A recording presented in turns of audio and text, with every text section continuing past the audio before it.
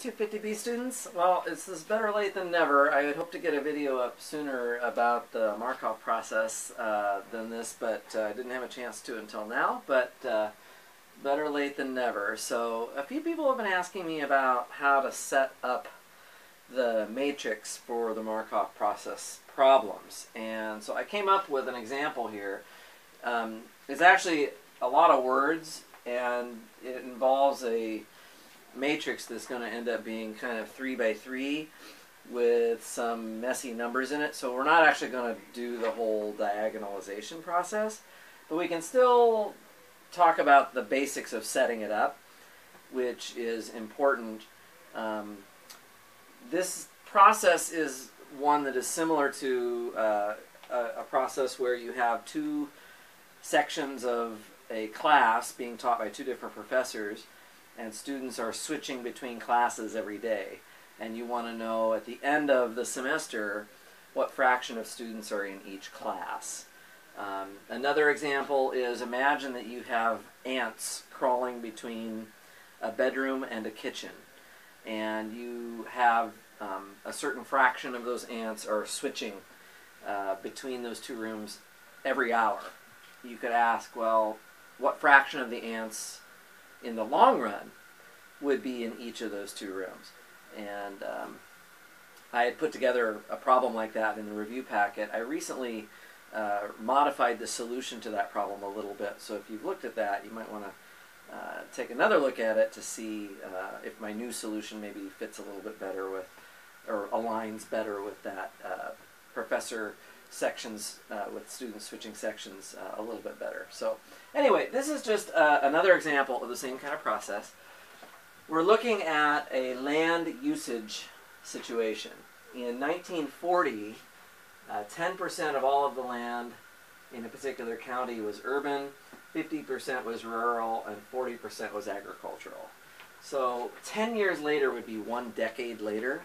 So what I'm going to do here is I'm going to measure time in decades. All right, and so at uh, t equals 0, which is 1940, what we are given is the urban, the rural, and the agricultural uh, percentages. Okay, so I'm going to write it like this. Um, U of 0, R of 0, and A of 0 and those percentages were given to us as 0.1, 0.5, and 0.4. Okay? Obviously, this adds up to 100% of, of the land. Okay, 10 years later, a follow-up survey was done. 70% of the urban land remained urban, 10% of it turned into rural, and 20% of it became agricultural.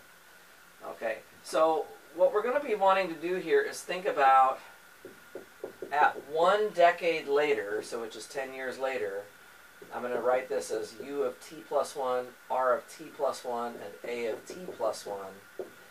We want to figure out how to write that in terms of the current urban, rural, and agricultural uh, distributions of the land, right? So this is the current situation.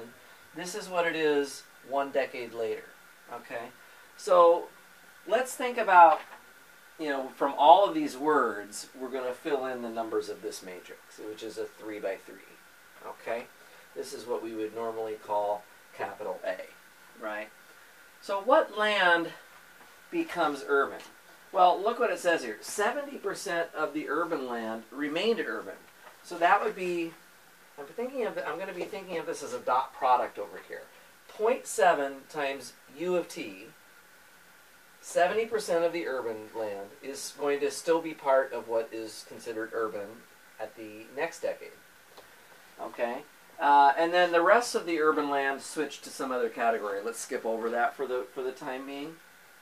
20% of the rural land became urban. So not only is 70% of the current urban land going to stay urban, but 20% of the rural land is going to become urban. Okay? And finally, it looks like none of the agricultural land is going to become urban, so that's going to be zero. Right? That's going to be zero. Okay.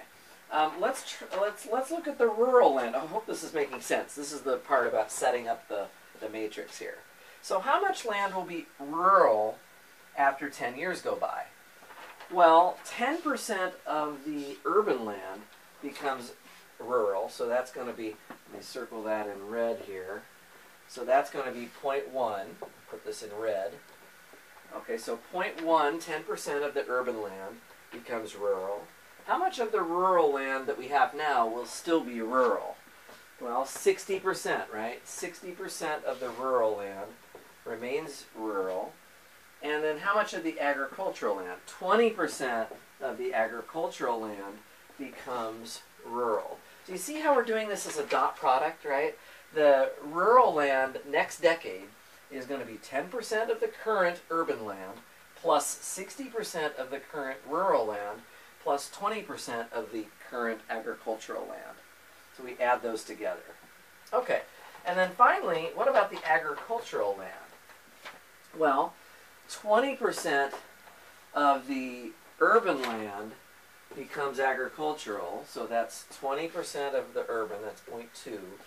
20% of the urban land is going to become agricultural.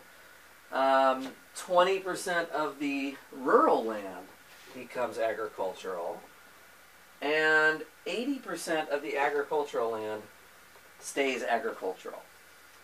One of the things about these Markov matrices is that the columns always add up to 1. Okay, so that's one way to check yourself that, that you've done it right. Okay. Now the question is asking you how much uh, percentage of urban, rural, and agricultural land will we have in 1960? You can tell that that's exactly that's exactly two decades after the initial configuration. So what you're really looking for then, what you're really trying to solve for is U of 2, R of 2, A of 2. Right? And this is just going to be, this is just going to be A squared times the initial configuration, which is 0 0.1, 0 0.5, and 0 0.4. So you don't really need to diagonalize the matrix here because you're only being asked to square this matrix. So that can be done fairly quickly. It's just a 3 by 3. Even though there are decimals here, eh, it's not really too bad to do it. Um, so I'm going to leave it to you guys to check that the answer will be 0.197, 0.339, and 0.464. Okay, and you know, without a calculator, it's a little messy to come up with that, but that's basically the idea here. Okay, if we wanted to know how much um, land was urban, rural, or agricultural many, many decades into the future, we really would need to diagonalize this matrix. But it's not a very easy one to diagonalize by hand because the entries are mostly non-zero. The characteristic equation is going to be tr tricky.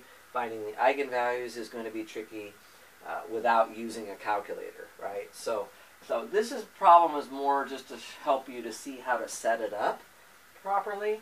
Um, then the mechanics of the diagonalization should kick in, and you do the usual process of of um, finding the eigenvalues and eigenvectors, right? Eventually, you come up with the usual equation. You know, S inverse AS is equal to D. And so if you want to take a high power of A, well, you're going to do it by taking a high power of the diagonal matrix of the eigenvalues and sandwiching it between S and S inverse uh, in the usual fashion. And then once you know how to find a high power of A, you'll be able to multiply that high power against this initial uh, distribution of land to find the land at any later time. Okay, so that's the basic principle behind it. I hope it kind of makes sense. It's just a, a three by three version of the same kind of problems that uh, I mentioned earlier about students switching between two sections of a professor or ants crawling between two different rooms in a uh, building um, in, in a Markov process where the uh, the time evolution of the of the system is what you're is what you're looking at in the long run. So, okay, I hope that made sense. Um, feel free to ask me more questions if it's not. Okay, thank you so much.